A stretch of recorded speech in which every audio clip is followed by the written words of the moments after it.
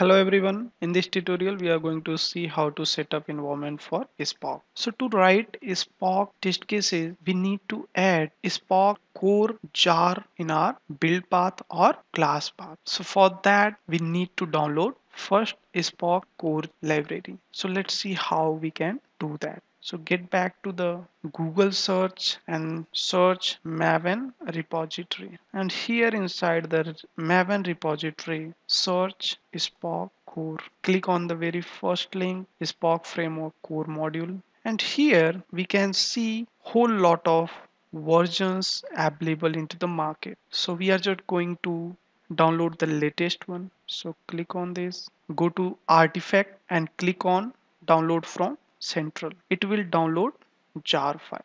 Go to the folder where it has been downloaded copy it and now open your eclipse. Create one groovy project.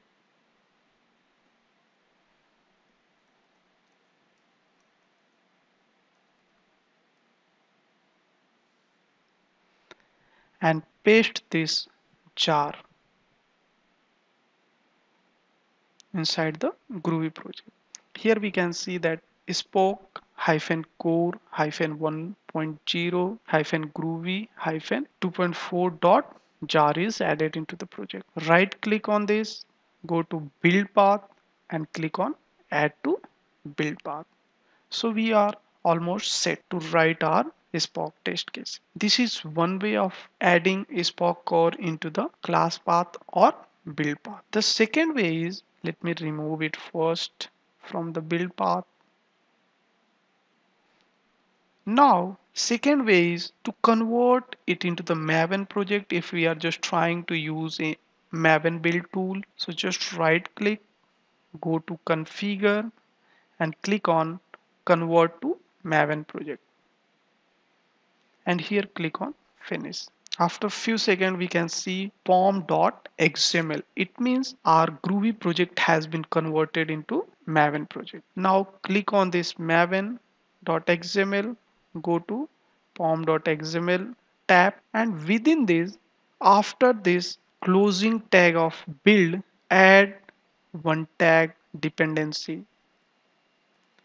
And within this, we can add number of dependency that is needed inside our project. So for time being, we need to add dependency all about Spock core. So get back to the Maven repository from where we have just downloaded the jar.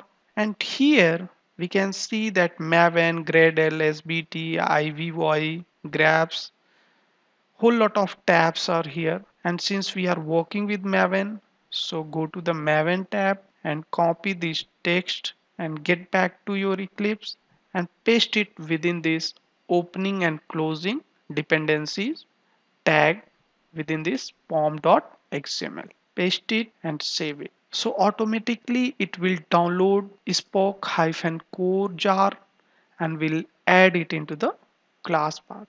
And if we want to see where it is adding this jar we have to wait because we can see that when it is downloading one status will be coming at the right bottom corner. Here it is going to say building workspace and at the same time it is showing the percentage how much of the jar file has been downloaded.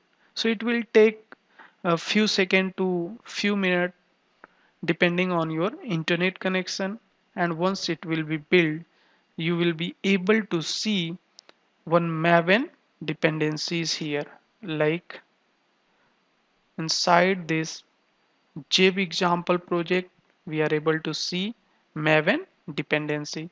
Now we can see this maven dependency. Just go to this triangle click on this and here within this you can see that all the related chart that is needed to work with Spock core has been added into the Maven dependencies. And all these dependencies are implicitly set into the build path. So now we are almost set to write Spock test cases. Thanks for watching.